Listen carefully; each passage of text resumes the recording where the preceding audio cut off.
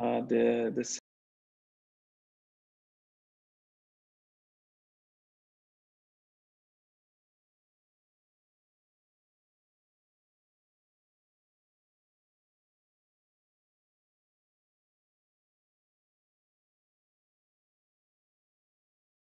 Once again, good afternoon, good evening. Uh, we are having some technical issues, but we'll, uh, we'll continue nonetheless. Um, so I am going to assign um, two co-hosts so that, you know, hopefully the program will continue. Um, just give us a second so that, you know, I can try and set up our Facebook stream at least, so we can hopefully continue on uh, it there. Um, we wanted to, to express our gratitude to all the attendees that are joining us here on Zoom and that are joining us on Facebook in just about a minute, hopefully. Um, so, so that we can have an informative program uh, ahead.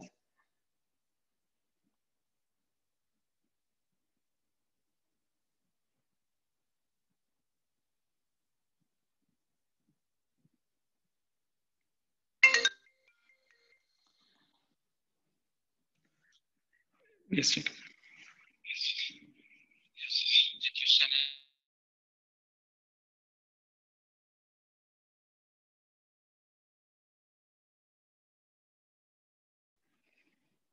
Okay, once again, thank you for your patience. We will be starting in a minute, inshallah, God willing. I don't know how many, it seems like, you know, we have uh, participants from across the region, not only the Pennsylvania region, but we've been having storms and that has been impacting connectivity. Um, so um, with that, uh, we will hopefully be starting soon.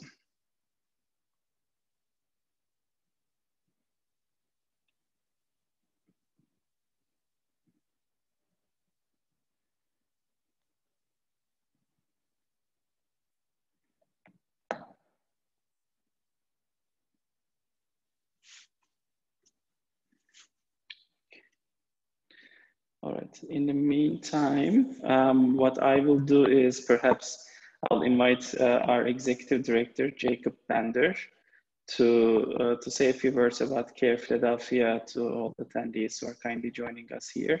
Um, Jacob, uh, why don't you uh, go ahead and maybe do that? And in the meantime, uh, I'm working on the, the Facebook live stream and it's slowly coming alive, but we may need just another minute.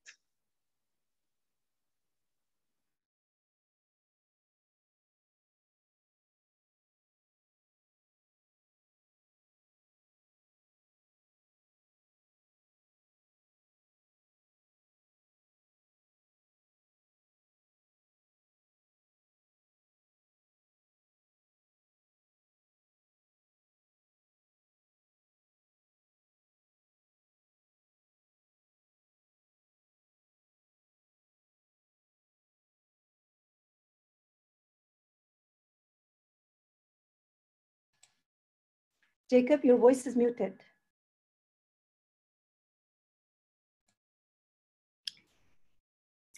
CAIR is a national organization with 33 chapters around the country. Um, and the organization is approximately 20 years old. Uh, the chapters 33 again are spread out all over the United States. Uh, I have the honor uh, to being the director here in Philadelphia for the last um, seven, uh, eight years. CAIR is primarily a domestic organization dealing with Islamophobia uh, and discrimination against uh, Muslim Americans. However, on occasion, um, when we realize that our brothers and sisters are being persecuted, we organize um, events um, such as this one, such as um, next week uh, dealing with um, uh, Kashmir. And two weeks ago, we did a webinar on Palestine. So these are some of the activities that we um, undertake. And we are really glad that both of you um, are here today to participate in this program. So welcome. Ahmed, it, it's all yours. Uh, thank you, Jacob, for that. What I will suggest doing is because we have quite a few attendees here on Zoom with us, um, um, what I will suggest is we can get started and hopefully the once the live stream is set up, uh, the uh, our audience there can catch up and we will of course make the, the full program uh, through the recording available as well. So I want to, to thank uh, again, Jacob and both of our speakers, uh, Rushan Abbas, of Campaign for Uyghurs and, um, and Elise Anderson from uh, Uyghur Human Rights uh, Project uh, for joining us today. I want to also give a shout out and thank uh, Guangtian Ha from Haverford College, uh, with whom and with the Hurford Center at Haverford College, we have been cooperating on a connected uh, project called um, Contest of the Fruits that centers around an ancient Uyghur text and Uyghur civilization. Um, so Guangtian kindly reconnected me with, with, with Elise and uh, with Dr. Rishat Abbas, a local Pennsylvania-based Uyghur American leader. We have been blessed to, to work and to exchange ideas. We've been able to, to bring uh, Rushan Abbas, one of the leading voices of Uyghur Americans um, in the DC, Virginia area with us today. Uh, so what we are looking at is a complex and a long-standing uh, issue. And yet, having said that, I would caution us against making this just an international conflict uh, issue. Sometimes that leads us to dehumanize the subjects, the very individuals that go through and experience hardship uh, through this process. What I wanted us to do is to start off with um, a a session, a section where um, both of our speakers uh, can briefly introduce themselves and their work um, so that our audience, uh, those who may not be familiar with them and their expertise, their backgrounds, uh, can be familiar with that. And then we'll go into a series of questions and answers. And we, of course, invite our audience members to also please post their questions uh, to, uh, to us um, um, and to our speakers um, here uh, on Zoom, and once the um, uh, and the once the the Facebook uh, stream starts. With that, I want to um, I want to invite Rushan Abbas um, to uh, to kindly take the first step and introduce us a little bit about herself um, and her trajectory coming into the United States um, uh, as an Uyghur, um, uh, Uyghur American here, and, and her work, and then we'll go to, to Dr. Elise Anderson. Thank you so much, Ahmed. Thank you, Jacob and the CAIR Philadelphia for uh, setting up this panel, giving us this opportunity to uh, raise awareness, highlight this uh, active genocide against Uyghur people currently. Uh, I started my activism work while I was a student um, co-organizing the pro-democracy demonstrations at my university in uh, 1985 and in 1988 in East Turkestan, which is called Xinjiang Uyghur Autonomous Region by the uh, Chinese authorities today. Xinjiang is the name given to our homeland by uh, uh, by China, Chinese government after the occupation. Uh, it means new territory, a name which is inaccurate at best and insulting at worst to the Uyghurs. So we refuse to use that. Since my arrival in the United States in 1989, uh, I have advocated for Uyghur rights, and I also co-founded the first Uyghur organization uh, in the US in early 90s, and also helped establish the Uyghur American Association, which is uh, my brother, Dr. Rishat Abbas, is one of the co-founders and the, um, also a long-time advocate for Uyghur people. Um, I was also privileged to work as the first Uyghur reporter for Radio Free Asia, broadcasting daily to the Uyghur region uh, when the service was initially launched. And I have also worked as a linguist and a translator and I was honored to be involved in the uh, translating and also resettling of the 22 Uyghurs who were mistakenly in Guantanamo. Um, I can just keep going. I don't know how much to do. Uh, well, since um, last few years, um, I uh, uh, founded the campaign for Uyghurs in uh, 2009, uh, 2017 to advocate for the uh, human rights and the democratic freedoms after the situation in Turkestan deteriorated rapidly with a million people in the concentration camps. Now it went up to more than three millions. I guess I guess I can talk about the organization in the later. Absolutely, absolutely. Thank you so much for that, uh, Shannon. Um, uh, Dr. Anderson, Elise, uh, again, um, uh, tell us a little bit about your background. Uh, you're an academic specializing on, on Uyghur culture civilization. You have spent many years um, in the region. Um, so a little bit about yourself and your work. Yes. Okay. Yes. Thank you. And thank you to you um, and to all of CAIR for inviting me to be part of this panel, for organizing it in the first place. And thanks to all of you out in the ethers who are watching along with us right now. So I am perhaps very obviously to all of you, not Uyghur myself. I was born and raised in Oklahoma in a tiny rural town, actually. Um, and I did not know who Uyghurs were for the first 20 years of my life. But as a college student, as an undergraduate, when I was studying music, um, I was looking for some reason to keep me away from home for the summer. and I ended up teaching English in Urumqi uh, many, many moons ago. Um, I hated teaching English, if I'm being really frank about it but I absolutely was fascinated by Uyghurs, by Uyghur culture, by Uyghur music. And I thought, wow, if I get a chance to study Uyghur language and Uyghur music someday, I think I'd really like to do that. And so I just ended up doing it. I went to graduate school at Indiana because it was one of the places, one of the few places in the US where I could start to study the Uyghur language. I learned Uyghur, I learned Chinese. I spent my summers going to the region to Urumqi, to Kashgar, um, and learning about Uyghur music, trying to learn the language better. Uh, and then I went to do dissertation research for my PhD uh, in 2012 and stayed until the middle of 2016.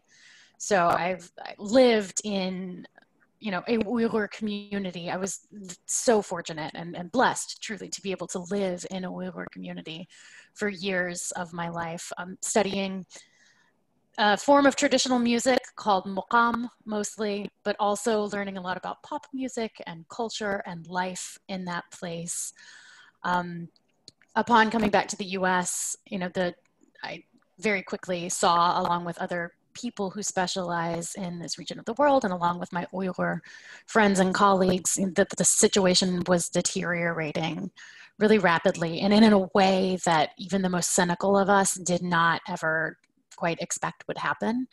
And so um, I've decided since finishing my PhD to you know move into working in human rights and to working in advocacy and you know not staying silent and saying okay how can i contribute to this cause can we as this village that it's going to take to address this problem like what can we do and how can i be a part of it um, so i still have one foot sort of in academia um, i also perform i translate and pretty much everything I do is connected to Uyghurs and Uyghur rights, Uyghur music and culture, and you know this bigger um, crisis and and village of people who are trying to solve it. Mm-hmm. Mm-hmm.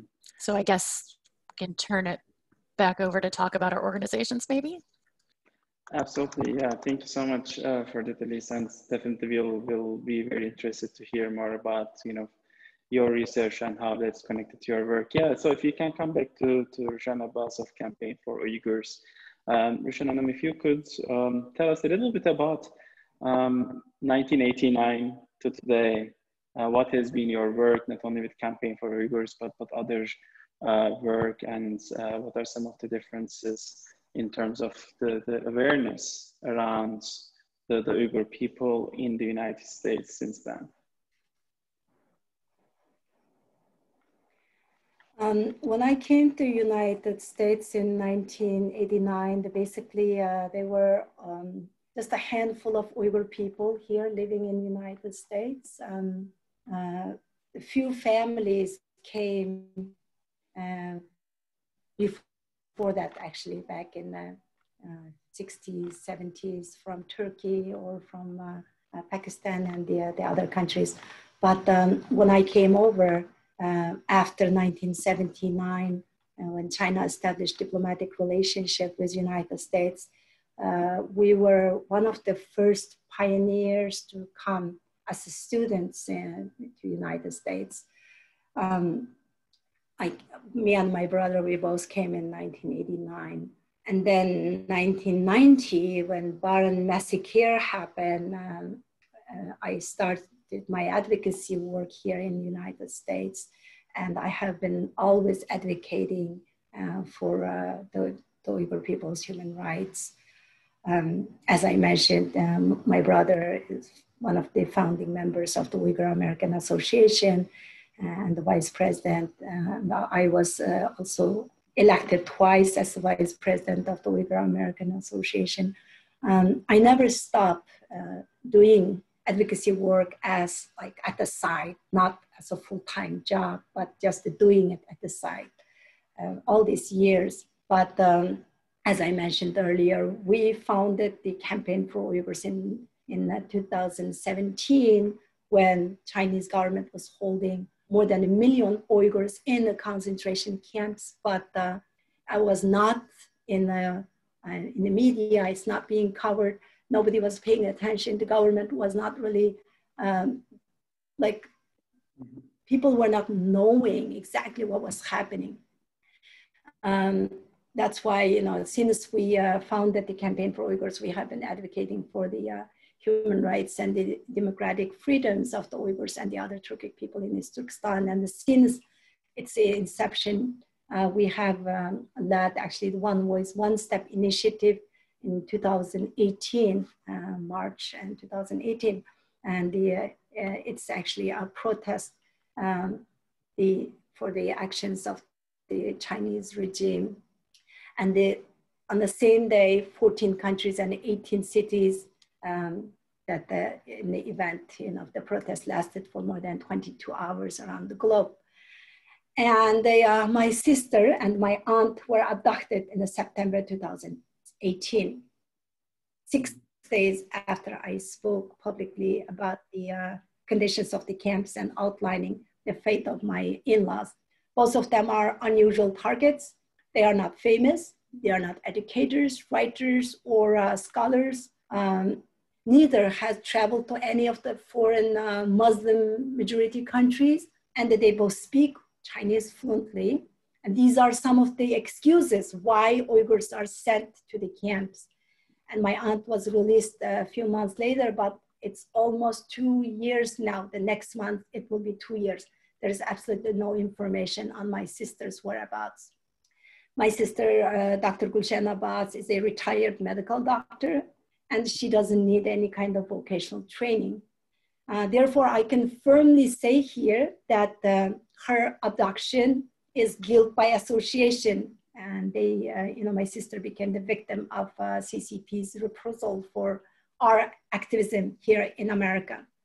And since then, I have quit my job in September last year on one year anniversary of my sister's abduction. And I became a full-time advocate now. And our organization uh, works closely with uh, lawmakers, officials, academics, and the other grassroots uh, organizations and they uh, raise awareness um, in the media and the, uh, we work to mobilize groups to take tangible actions against Chinese regime. And we have advocated raising support for the uh, Uyghur Human Rights Policy Act, as well as now asking support for the current uh, Uyghur Forced Labor Prevention Act. And we are also involved in the congressional working groups, forums, and the international religious freedom platforms and even giving recommendations to congressional committees and foreign government bodies, uh, as well as uh, US embassies in overseas about the plight of the, the Uyghurs. And in light of a COVID-19 pandemic now, we continue to maintain our uh, activism through media, and social media, and the online presentations. And we conduct advocacy efforts in uh, multiple languages now, mainly concentrating in Turkish, Arabic, and the uh, English, but as well as we have Spanish uh, and also um, uh, uh, in um, Chinese as well.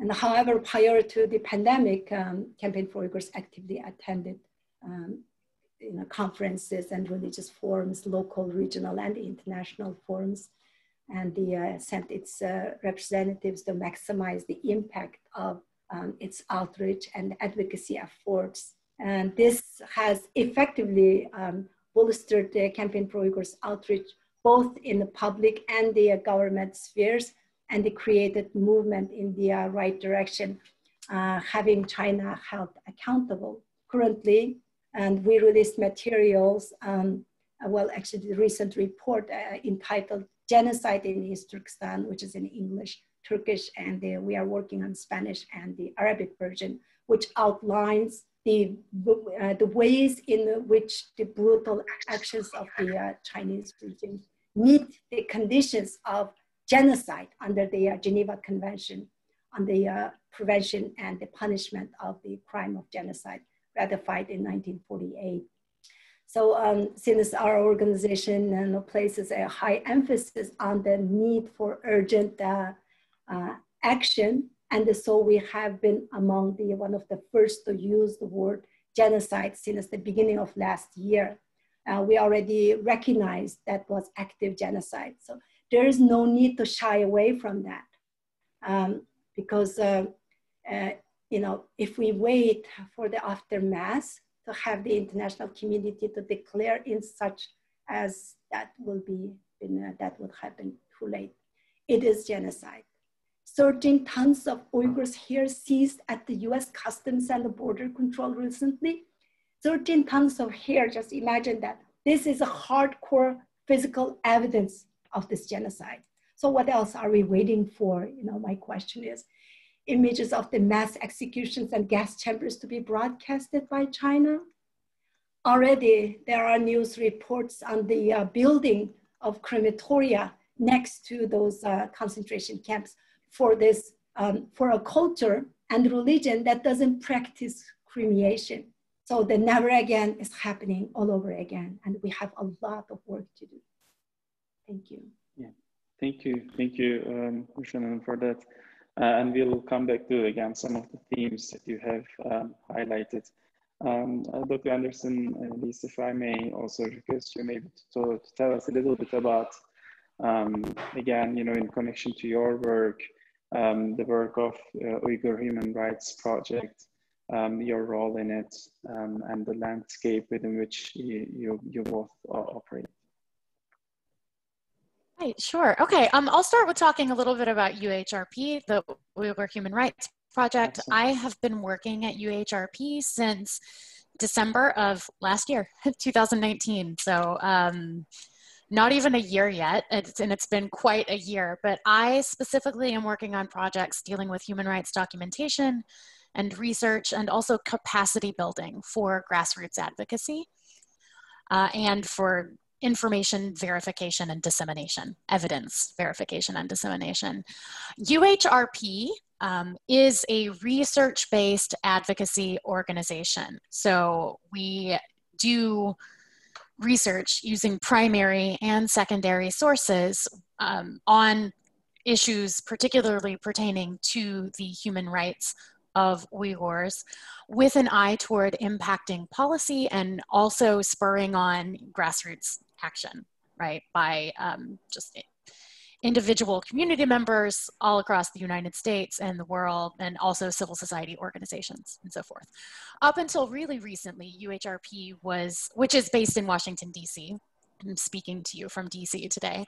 Um, but up until recently, UHRP was mostly North America focused, although we've kind of started expanding um, who we're talking to and you know who we're in conversation with and collaborating with in more recent times so we publish reports uh, we're talking full-length reports you know 30 40 or more pages in some cases briefings statements and um, many other types of writing in mostly english and chinese right now although we're also expanding into other languages as well. Um, and all of what we publish has an eye toward defending the civil, political, social, cultural, and economic rights of Uyghurs and other people in the Uyghur homeland according to international human rights standards.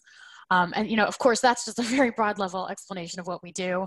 If I got down to the nitty gritty of the day to day, it would be a lot, right? But again, our eye is always toward how can we impact policy and how can we also spur action from the grassroots to you know the highest levels of government and multilateral action. Um, and just for a few examples of our recent reporting we we recently released a report on um, disinformation. So how is chinese state media uh, not just misinforming but disinforming you know narratives and the broader conversation about what's happening to uyghurs globally we were released a report about uh, the city of Kashgar and the transformation it has undergone at the hands of the Chinese state, and what that says about Uyghur life and the future for Uyghurs. Uh, we were involved in research on the Qaraqash document or the Qaraqash list, one of those leaked documents out of China that was released earlier mm-hmm. this year. Uh, we've done work on the coronavirus situation for Uyghurs. We have a lot of ongoing research reports, uh, a, a, lot of ongoing research topics in process at any given moment. Um, mm-hmm. And in some ways that is, you know, very similar to my academic background and, and my academic work, which like I said, has mostly focused on um, Uyghur cultural expression and Uyghur music. But that, mm-hmm. of course, in a lot of ways ends up being um, relevant to what's happening now. You just heard Rushan say that kind of you know, artists, um, cultural elite, the intellectual elite are in many ways targets of, of this campaign, you know, of what has been happening to Uyghurs. Um, and I've certainly seen that impacting um, people I, you know, did my research with when I lived in the region and so forth. So there, there are very mm-hmm. personal elements for me in some ways um, that are, there are like a through line from my academic work to here, but also intellectual issues and, and questions about and just human issues and human questions about rights. And the, what does it mean to have the right to you know be who you are speak the language you want practice the culture you want to practice or practice the religion that you want to practice. Um, what does it mean to have those things taken away from you? So those are some of the through lines. But yeah thank you. Absolutely. Thank you so much. Um, so we'll move to our first question which is also a question that, as you can see, has come from one of our audience members, uh, Brother Muhammad Aziz, one of our uh, mentors and leaders in the Devon area and the Devon Masjid. He asks, uh, so what is the current situation? And again, if you were to imagine someone who may not be following the news very closely, but just hearing about the Uyghur crisis, um, what is life like for uh, for the Uyghur people in East Turkestan uh, currently on a day-to-day basis. And a connected question to this is, what are, how do you communicate with people on the ground or are you not able to communicate with people on the ground? What are some ways to receive news from the field given the restrictions that are imposed by the Chinese government? Um, I can just say, uh, briefly uh, mention about what is happening today. Um, let's talk about just regular people like you and me, and mm-hmm. not talking about the ones in the camps, but just the daily lives for regular people. Anybody have read the George Orwell's uh, 1984? Uh, that is the, uh, the, basically the reality in East Turkestan today. Complete surveillance police state. And the, um, China is waging a war on religion, uh, basically. They are outlining everything, not just the, religious, normal religious activities, but also um, our uh, like Uyghur identity or uh, any kind of the, you know, practicing uh, your normal culture um, using the Uyghur language basically, and the, uh, everybody's forced to speak Chinese. Um, uh, the Uyghur women are forced to marry Han Chinese people, Uyghur girls, because if they say uh, no to uh, such a forced arranged marriage by the government, they are being labeled as uh, uh refusing to marry non-Muslim Han Chinese. So they in fear of uh, sending to the, uh, the concentration camps, they are marrying to somebody who they don't love or they don't want to. So if a girl cannot choose who she wants to marry or who she doesn't want to marry, what do you call that? That is rape in the sham of marriage. And also uh, 1.1 million Han Chinese cadres deployed to Uyghur homes to live inside of people's houses, to monitor and to supervise their daily lives. Most of the men are taken to either concentration camps or slave labor facilities or prisons. The, the women are subject to sexual abuse. So basically, the tragedy for the just regular people while their religion is being stigmatized and the, uh, their ethnic identity is being uh, demonized by the government. Um, everybody is living under fear. In the camps, intense indoctrination, forced um, uh, uh, mental and physical torture, and people are uh, forced to forsake their religion and ethnic identity in you know dehydrations and also uh, not enough nutrition and the um, very crowded rooms. We are seeing some of the pictures of uh, um, so many you know people are crowded to one room. So not only China is uh, waging um, a war on Islam, and they, uh, they're also waging war on democracy and freedom. The information blockade, because of the information blockade, is extremely uh, difficult to get any kind of uh, information. And now whatever is happening in East Turkestan, the tragedy of the Uyghurs is not just confined to us alone. And this will be the future of the entire world if China is not being stopped because Beijing has infiltrated the Western universities and the UN and the NBA and the IOC and the Hollywood. In short, basically China is aiming to take down the democracy across the world the consequences of failing to address this uh, monstrous threat will be disastrous for humanity. And how we are getting the information, there are many people in the region who sent out very subtle videos and the messages via uh, Chinese social medias, and sometimes they are just um, jeopardizing their lives, their own safety to send out some of the messages. And some others are leaking information like uh, uh, Dr. Elise Anderson mentioned earlier, um, the Qaraqash documents, and the, did 403 pages leaked documents, and they, they also, um, there's like another set of documents, uh, which is the, like uh, basically, uh, uh, you know, the operating manuals for those camps. There are three sets of leaked documents, government's own documents. So they are not just the something that I am saying as an activist or somebody else is saying from one of the Uyghur organizations. Those are hardcore evidence came from the Chinese government themselves. That's why there's still people, especially uh, from some of the uh, uh, our Muslim brothers and sisters, uh, like I have been trying to convince this one person from uh, Palestine origin in New York, living in the United States, still believing China's disinformation and false narratives. And he tells me after all these documents, sending him all this information, he tells me that, uh, well, China's not having any issue with religion. Uh, they are just the, uh, fighting the uh, radicalized Muslims uh, among the Uyghurs. Mm-hmm. So um, uh, we, we as, we, as I said, you know, it's really difficult to get information without risking the contact's life or their family members um, because of our knowledge of how China suppresses the information. uh, when we do get the news or something, we can be certain that it's much worse and on a much uh, larger scale than what it is being presented. Just I recently talked to one of the um, um, former inmates who came out of the uh, concentration camp living here in Virginia. Her husband was telling me that um, they lived there and they just came back last year. Mm-hmm. Okay. They were saying that, um, let me just uh, uh, you know, finish with this. They were saying that everything we are saying here is only like 10% of what's actually being, um, what's happening. Thank you.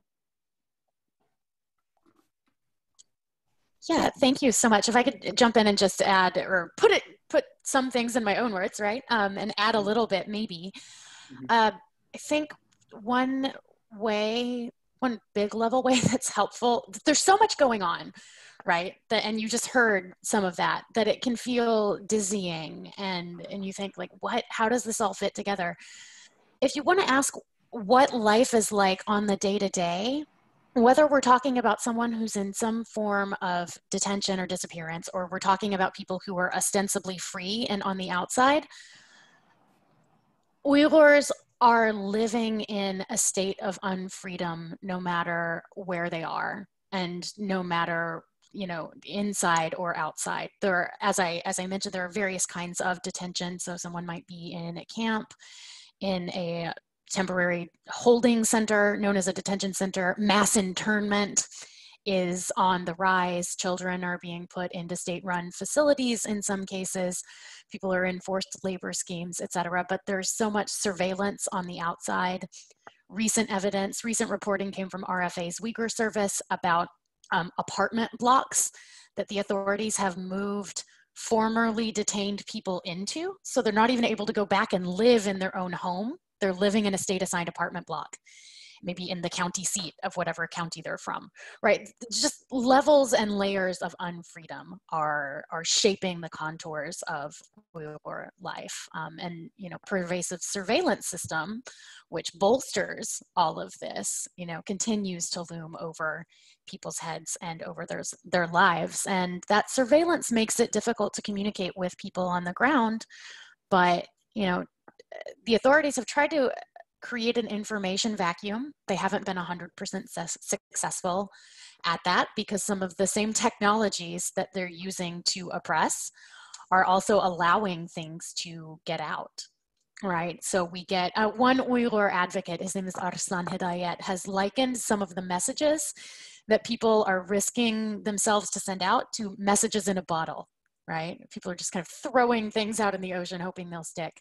Um, so the things people post on social media have been, you know, from China have been very valuable in getting evidence out as well as these higher level document leaks. But um, like on a personal level i no longer have contact with my my friends my teachers my classmates from the region because it's it's simply too risky um, uh, question if i may.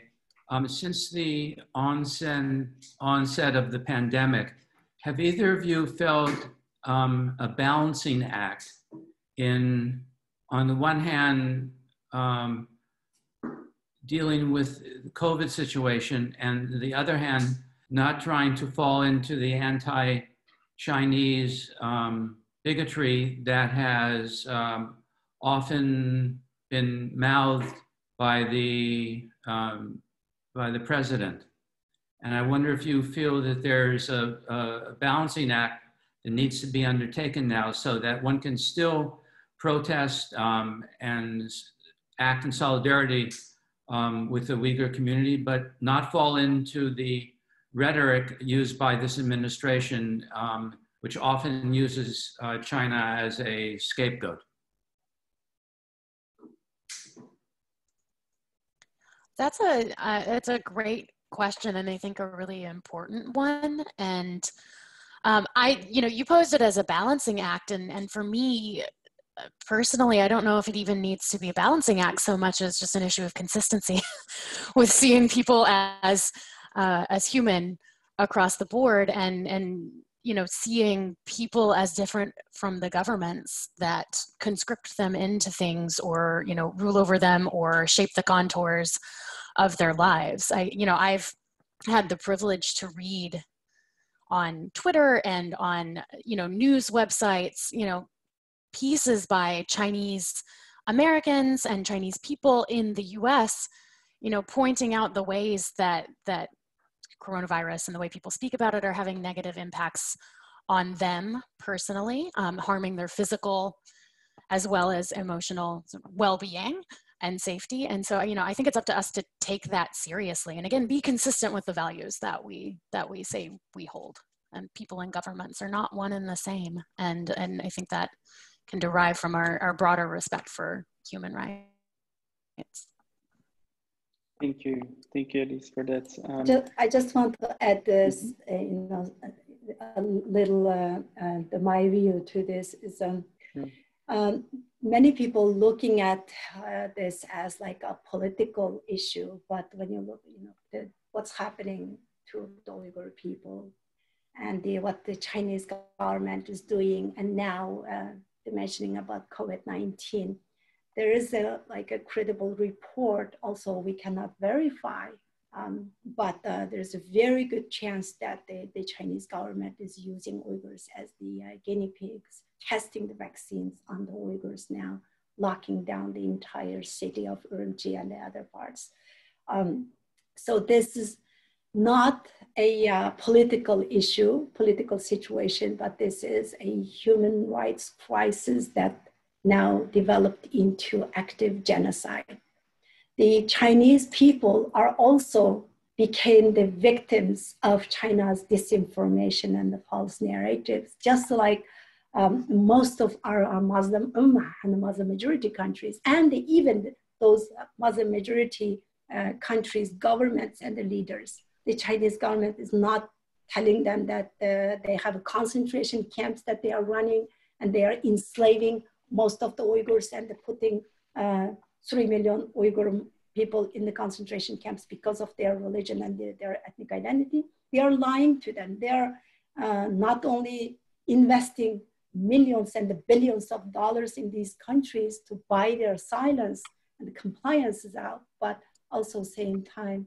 they are spreading the disinformation about the actual situation. Mm-hmm. So you know, just sadly, this has been uh, far um, from uh, you know um, China's, you know, this is not the first time China is doing this, but uh, China has used its new position of the economic uh, powers to ramp up its persecution of the Uyghurs and Tibetans and Mongolians and what's happening in Hong Kong right now, and the other religious groups. Um, all of them are uh, becoming the victims of uh, Chinese Communist Party. Mm-hmm. I think uh, also, if I can add, I, I will be quick. Um, just we can see how so many of these major issues, the, the, so the, the Uyghur issue on the one hand, and then the you know coronavirus as a global pandemic, are are intimately linked. And you know all the ways coronavirus is raging through the United States right now are is is intimately connected to this crisis. I'll say again, and you know just one example of that is evidence we found that Uyghur forced laborers are likely making masks and other PPE. They are making masks and other PPE, and those things might be making their way to the United States for our own response to this coronavirus. And so I think, you know, this exposes a lot um, about the world, but, uh, and, and really is, is challenging us all with, you know, our our response in some ways. Mm-hmm.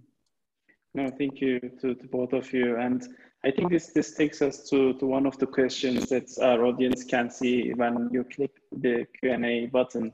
As you can see, there are several questions that have come in and you have addressed some of them. But uh, I think two questions address a specific point, which is what can we do here in the United States as Muslim Americans or as Muslims who live here in the United States what are some ways that organ at the organizational level, at the individual level, uh, one can um, help or learn from the Uyghur organizations. Um, and, and of course, you know, connected to this is the ongoing uh, Chinese propaganda, sometimes enlisting relatives of, of, of, of, Uyghur leaders as well, as one of the questions uh, from Andia Batang um, notes here uh, what are some ways, in other words, that again, an everyday person who's concerned, who's now informed, thanks to, to both of you about this crisis can take? What are some resources that we can uh, lead them to? Yeah, absolutely. Okay, I can jump in because I'm looking at a list right now. sure. Prepared a list to, to keep myself on topic and answering this question. So, um, one way, a little bit of promotion. If you go to uhrp.org, we have a page on our website titled What You Can Do, which will provide you with some links and some suggestions. So, keep that in mind, bookmark it for later. I'll also just go ahead and share. Definitely definitely please ask your mosque um, and other organizations you're part of to endorse a global campaign for fashion brands to end complicity in Uyghur forced labor. Uh, you can ask your senator to co-sponsor the Uyghur Forced Labor Prevention Act. You can donate to Uyghur organizations um, that are working on this cause and fighting for the Uyghur people, like Campaign for Uyghurs, like the Uyghur Human Rights Project, the World Uyghur Congress. We can really use your support in that way. Uh, follow Uyghurs on Twitter, on Facebook, on Instagram. They're telling their stories and sharing them widely. Uh, and there are also a lot of good peti uh, petitions that are out there. So the UHRP What You Can Do page links to some of those. Um, I could also send them to CAIR to circulate if, if that's something people are interested in. Thank you. So we'll be happy to circulate, Risha. Thank you, Elise, for that. And I've posted the, the link to the HRP website. Um, just to add to, uh, those are really great points. Uh, thanks, uh, uh Elise. And I would like to also add the boycott Chinese goods and the companies who are profiting off uh, uh, silence on the Uyghur slave labor. When you see made in China, just remember those are made with Uyghur slave labors. So try not to buy anything that's made in China and continue to raise awareness and speak to your legislators about those uh, the bill that uh, Elise just mentioned, and also uh, there's another one, the Senator Hawley's anti-slavery bill is also a very important legislation that is a, a legislation that is connected to uh, the Uyghur slave laborers. And we need to also a part of regarding to uh, CCP's infiltrations in foreign universities, especially we've got all these Confucius institutes everywhere in the United States. Um, now we, we just recently, uh, in, you know, the, the US uh, actually um, uh, recognize them as a foreign missions, but that, that does not create enough of a precedent for the universities and forbid their operation because they renamed the uh, university, universities renamed those Confucius institutes now uh, to like a, a, culture and the language uh, program or something like that. So uh, that actually uh, using our uh, freedom and the platform here we have in America, um, spreading basically disinformation and the Chinese totalitarian ideologies. And also um, uh, CCP propaganda outlets like uh, the Global Times Network and the, the other, uh, there are some uh, cable networks that people are paying to watch those uh, CCP's propagandas. And we all should also initiate um, such as to boycott the uh, 2022 Beijing Olympics, a country holding 3 million people because of their religion, because of their ethnicity and the background and does not qualify to host Olympic Games. So there is a no right, no game uh, hashtag to emphasize that uh, allowing a genocidal regime uh, like uh, China uh, should not be hosting uh, Olympic Games. And also you can write to the, the IOC for that. And the plus, we should also support um, legislative efforts to hold the UN and the other entities accountable as well. Um, China has been given a seat on the UN Human Rights Council panel. Can you imagine? China is on the UN Human Rights Council panel with upcoming votes on their appointment now recently, uh, you know, on, on a, uh, near future. we must call on countries to uh, abstain from voting this appointment. We should also mm-hmm. continue to pressure the organization, the Islamic Cooperation, to act. The Ummah is desperately uh, needed, uh, hosting awareness events like this one, uh, and also encouraging imams to speak. Almost every Jummah prayer should include du'as and the raising awareness on this issue. The imams um, should uh, step up, the most importantly to share and speak the truth uh, regarding what's happening to the Uyghurs. And many uh, mm-hmm. powerful organizations like yourself and the individuals have been uh, uh, raising awareness, but also there are so many, the Muslim organizations has been silenced by uh, China's money and the, uh, led astray by China's campaign of disinformation. Mm-hmm. Thank you. Um, no, thank you. And I know that this is exhausting, especially for, for both of you who are very close to the subject. Uh, actually, on just that, that, that theme, earlier today, one of the community members reached out to us saying that, hey, you're hosting this session on Zoom, but Zoom as a platform is also implicated in censoring and in, um, in canceling accounts of activists on the ground, which is of course another concern for us and we appreciate uh, that, that feedback.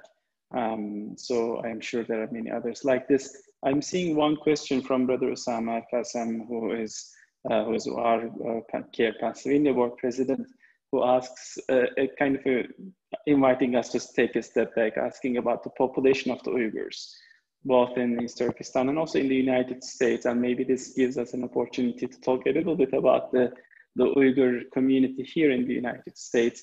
What are some states where there is concentration of the Uyghur community? What are some ways that this community connects to one another? And also not only in yes, the United uh, States, but other parts of the, the globe as well.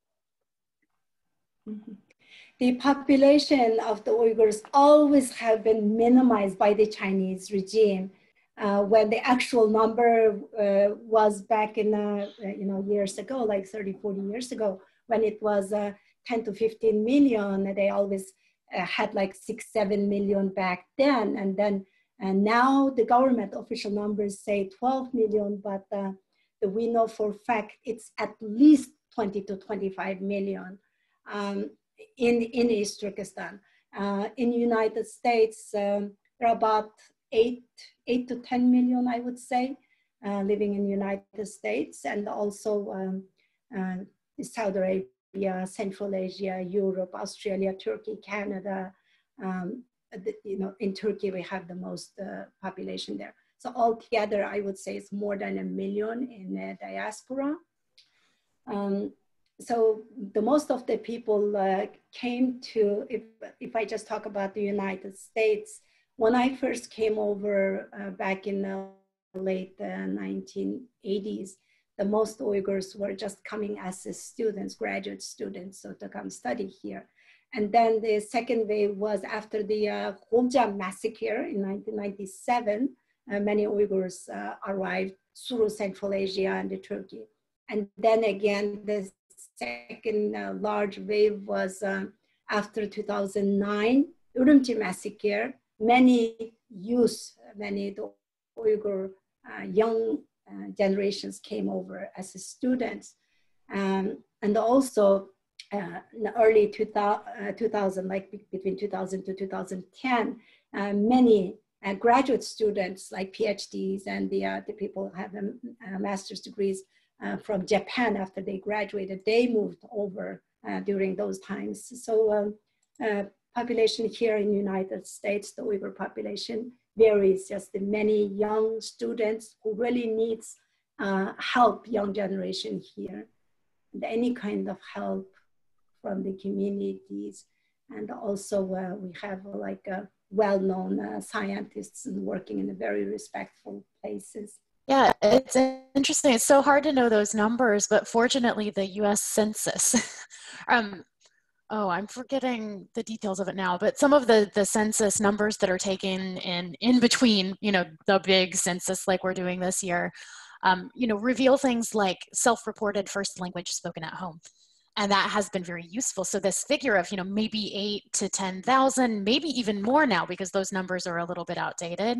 We know those figures from, from that self-reported first language at home um, information from the US Census. And, you know, Uyghurs have been settling here and starting families, right? And that has helped that community to grow and flourish. You asked the question, Ahmed, of, you know, what state are they or what area are they most settled in? And it's actually this area that Rushan and I are speaking to you from here in DC that is is the largest it's kind of Uyghur land in the United States. Um, so Virginia in particular, uh, but also to some extent in, in DC and Maryland as well. Absolutely. So, Many great Uyghur restaurants uh, in, that, in that area.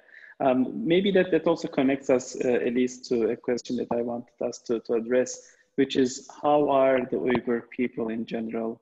What is the impact of, first of all, the repression and the oppression and the situation on the culture and the civilization and the transmission of these and how are people who are in the diaspora keeping their traditions their music um, their their cultural artifacts all, and all of that alive um, while experiencing uh, such harsh uh, conditions the, at the same time? Yeah this is um this is a, a heavy and, and large question that I hope we, I can do justice to, but um, you know, the, the situation for the survival of Uyghur culture feels really dire. You know, there, I last visited the region in 2018. Um, and, you know, I was heartened in some way to see that people were speaking the Uyghur language, but that doesn't mean it had a place left in you know formal institutional settings anymore or that it ha- really had you know a place left as a language of instruction and a language of production and so forth um, and so you know based on the sort of for me, I look at music a lot, right? And I can see that there's a lower, a much lower level of musical activity, and it's a different kind of musical activity that there has been before. And that coupled with the erasure of Uyghur language from so many formal spaces and contexts, you know, means it's it's it's worrisome. We also heard about campaigns where you know books in the Uyghur language were taken away and burned, and a lot of bookstores were shut down. Bookstores that were still open barely had anything left when I visited in 2018. So it looks it looks pretty dire in the region, from the best that we can tell you know in the diaspora people are have been establishing language schools not just over the last few years. Those efforts have been going on for a long time. Mm-hmm. among uyghurs in australia across europe also here in the united states people are forming ensembles. If you look at social media you can actually find amazing wonderful accounts across twitter and instagram and other places that celebrate uyghur cuisine uyghur music uyghur dance uyghur culture um, but you know, a lot of that is having to it's, it's taking place in a, a, separate, a completely separate social media ecosystem, right? In a, in a con- mm-hmm. completely separate set of environments spread across the world, which creates some challenges. And it's these are things, these are efforts that people are making in their spare time from their full time jobs um, usually underfunded, woefully underfunded. So those things present mm-hmm. challenges at the same time that those efforts are absolutely important and doing a tremendous amount of good work. Mm-hmm. Uh, and a qu- connected question um, just came in in the Q&A. Um, and, and Rushanan, please feel free to also address this, but I just wanted to highlight that question from Andy about Tang a question about, you know, what are some ways to learn the Uyghur language in, um, in either different language programs or at the university level? Are there such programs that might help slow down the erasure of the language? Uh, Elise can answer to that because you know she learned such a beautiful Uyghur. But let me just uh, um, add to about the, the Uyghur culture and the heritage part. You know what's happening in East Turkestan today is the communist uh, uh, Chinese uh, government's version of the Holocaust final solution, basically. Um, a high-level Chinese official, Hu Lianghe, said that the Uyghur problem must be taken to the final solution stage. And we are facing the complete extermination of our culture and the denial of our uh, history and, the, and, everything, actually, the heritage. Um, to say this is a, a challenge is a understatement. Actually, we are facing genocide and our bloodline is being bred out basically. The only aspect of our uh, heritage is uh, that um, uh, is allowed to be displayed are the uh, false propaganda of the Uyghurs uh, dancing uh, in the rehearsed scenes or from those concentration camps, so-called, you know, re-education as vocational training centers and also having uh, Han Chinese people dancing around in Uyghur clothes and the Uyghur uh, dances on the streets, completely uh, inauthentic and disgusting in their use these beautiful culture uh, to lie about the China genocide. Everything that made the Uyghurs unique as our our ethnic identity, our culture, our language, and our religion is being viewed as abnormalities by the uh, Chinese government. Beijing's ambassador to uh, US, Cui Tiankai, Ambassador Cui Tiankai, he openly told the CNN about two years ago, this was November 2018. Um, if you Google CNN, you can see this, that by putting the Uyghurs into those so-called re-education centers, he said they want to make Uyghurs into normal persons. Imagine that. They looked at our culture and our religion and our, you know, history, everything that made us unique as abnormality, treated us as abnormal commodities. So what heritage will we have left unless if we start to act and take tangible action to stop this genocide? Yeah, I think that's thank you for for adding mm-hmm. that. And I think it's you know it's important to realize there are ways that Uyghur culture in um, in the Uyghur homeland gets sort of taken away from Uyghurs and packaged in a certain way and put on display for the tourist gaze for the sake of making money, for the sake of making it look like, oh, we're protecting this culture, right? We're preserving it. Um, those things very much do happen and they're deeply misleading for people who don't know what they're looking at when they see it. And it's also, they're, those sorts of things are deeply offensive to Uyghur culture and to people, you know, Uyghurs themselves, right, who love and want to practice this culture. Uh, to the question about um, language erasure or language loss here in the United States um, and elsewhere throughout the diaspora, I know that there are people who, there are efforts underway to create some more standardized curricula for the teaching of the Uyghur language just to determine you know like what's the what should be the benchmark at this level? How do we you know know what benchmarks should even be there and how we're meeting them? So efforts are underway and people are talking with one another across uh, you know different countries across borders to figure out what that looks like. And there are universities in the us that are still teaching the language. Indiana washington kansas and harvard last i checked also university of wisconsin sometimes in the summer um, mm-hmm. so any or up to all of you could learn the Uyghur language if you were so interested. Um, and then there are also the schools run primarily with, you mm-hmm. know, Uyghur heritage speakers as their target. Yeah. Wonderful, wonderful. Thank you for that to, to both of you. Uh, we have one uh, final question from Brother Osama. We'll get that and I will get some closing remarks from you. And I'll ask it again if you can guide us towards, you know, concrete action uh, we would be grateful for that. So the question is, are you seeing a growing support at the Senate and the Congress, the House, or, or is the Chinese hold slash interest overriding support for the Uyghurs?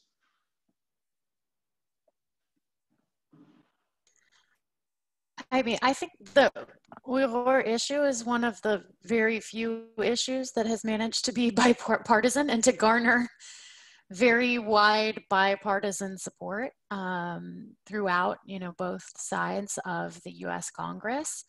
Mm-hmm. So um, I don't see, you know, other things as overriding that support from the United States. Rushan, do you have anything to add?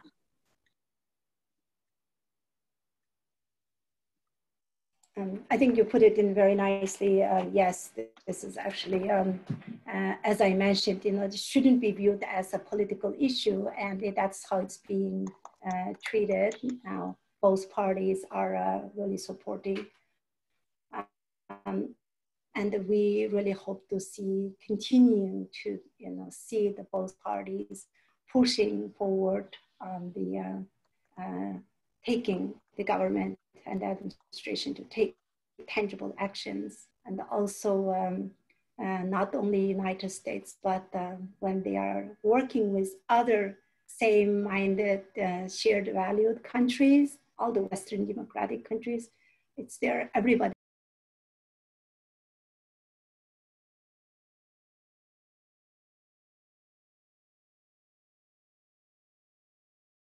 are being the first victim. Look at us just look at art today, and this is the future for the world, actually, especially the Muslim majority countries. We have direct stake because um, China is waging war on Islam.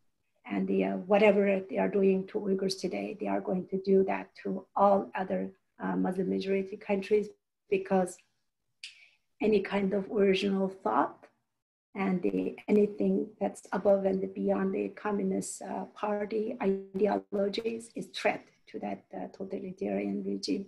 And also, China is openly announcing to the world that they are rewriting the Holy Quran and the Bible, and the uh, Vatican and the other uh, the leaders from the, uh, the, Muslim world are being silent.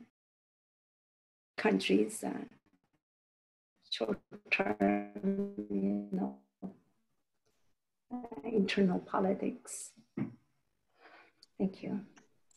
Thank you so much for this. What I am uh, doing, and sorry again about the connectivity issues here, is to, to post again the, the links to, um, to, to both organizations' websites and at the same time to post the link to the Contest of the Fruits project at Haverford College. Um, I want to give uh, Jacob, um, if you want to say a few final words before we give the final floor to our panelists. Um, but I wanted to shout out to Gang again, to Brother Karlin Safir, one of our own board members who has been a passionate advocate on behalf of the, the Uyghur cause in Philadelphia and beyond, and his wife, Sister Rukaya, as well. They've spent many hours uh, in the masajid uh, in, in areas um, as our elder African American, um, one of the founders of CAIR Philadelphia, Brother Karlin. Um, and, and I wanted to thank him um, again for his efforts. Um, so uh, I think what, what we'll do is, Jacob, if you can, um, uh, if you can kindly um, um, say a few words, and then I'm seeing one question. I, I can't resist, I can't but, but ask this uh, that just came in, is which is that does the Uyghur Human Rights Bill is it helpful for Uyghur asylum seekers? Uh, so that's the question. So is in your closing remarks, if you can highlight this after Jacob uh, says a few words, we'll appreciate it and then we'll wrap up our program. Thank you, Ahmed. Uh, thank you to uh, Rushan and Elise. Um, it's been a pleasure listening to you. Um, sometimes, although the report is sad, um, people hearing this can be motivated to address the situation. And that's one of the reasons that CAIR does webinars like this. Um, even though they're foreign issues and we are still primarily a domestic organization, we feel connected both um, being a part of the uh, Ummah, um, worldwide Muslim community, but also because we feel that any persecuted people should be our responsibility, and that silence or turning one's head is not an avenue to address um, evil or persecution. Uh, the evils that we see in the world can only be addressed by activism um, and courage which the two of you have brought to us in abundance. So we thank you again. Um, we hope you will come back um, in better times to report more about the situation of the Uyghur in China uh, and also in the diaspora. So again, thank you very much.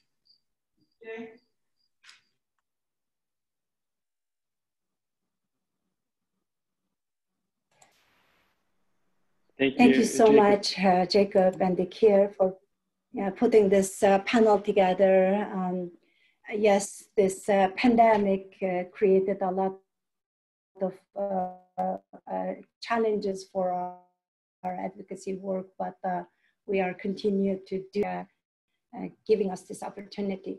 And when I talk about this pandemic, I want to quickly also address this, the pandemic, which the CCP deliberately suppressed the information and uh, punishing the whistleblowers and the uh, uh, creating this epidemic from one city to now this global pandemic. This should be a wake up call. A country that um, can unleash uh, this on to the world with uh, no remorse and who can lie about something like this. And now today, more than um, over 20 million people are infected and it caused more than 750,000 deaths in the world today cannot be trusted on any level.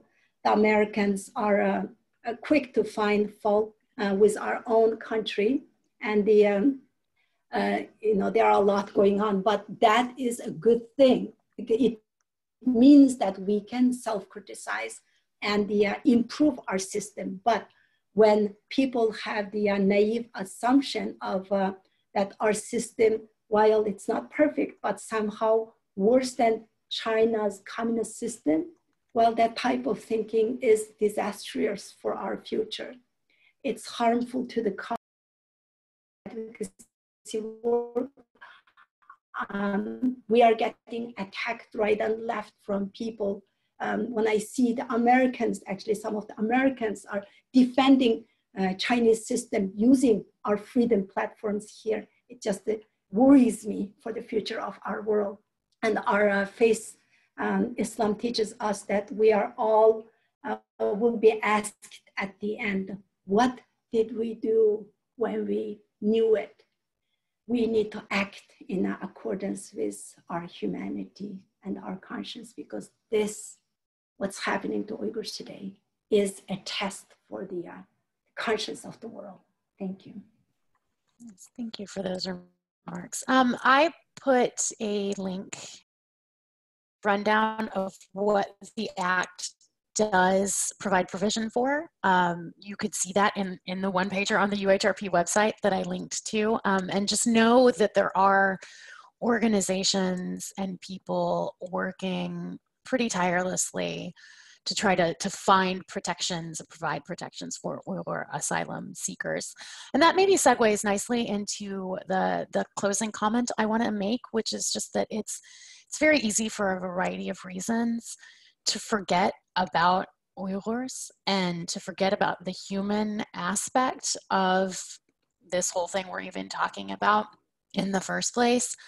Um, there are Uyghurs across the world who are experiencing an unimaginable loss. To most of us, it's unimaginable.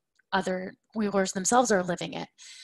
And uh, we need to listen to their voices and put them back at the center of this, right? So it is up to us. We can listen, we can act in empathy, we can center and recenter and amplify those voices. Uyghurs have been risking their lives, risking their emotional well being to practically scream at the world. And so, you know, I, I, urge all of you and all of us to listen and, and really give a place of importance to those voices. Thank you. Wonderful. We are grateful to you both for, for your wonderful remarks, for your expertise again, uh, please check out the chat. And it's a testament that this has been one of our best attended webinars so far uh, with such interaction, despite the fact that we couldn't go live on Facebook. Uh, but we will definitely post the video recording there. Again, thank you to, to all of you. Thank you to, to many of the local Uyghur leaders, Robert Asim here in Allentown, to Dr. Rashad and, and, and many others uh, um, here in this area for keeping us alive. Um, I want to, to give a shout out to two programs that are coming up. One is part of the Haverford College's Contest of the Fruits project, together with Guangtian, with 12 Gates Art, um, CAIR Philadelphia, and Haverford College. We are having an Uyghur poetry session at the end of August, so please be on the look for, for that. With many Uyghur leaders, uh, Uyghur poets, and, and many others will be featured. Uh, and a second program is next week. We are hosting another webinar, this time on the Kashmir crisis uh, and the situation um, there uh, with Hafsa Kanjwal from Lafayette College and with Dr. Sabina Fazli from, from Philadelphia, Kashmir American advocate and poet. Um, so again, thank you, uh, Rushan Abbas of Campaign for Uyghurs. Thank you, Elise Anderson, Dr. Anderson of Uyghur Human Rights Project for this.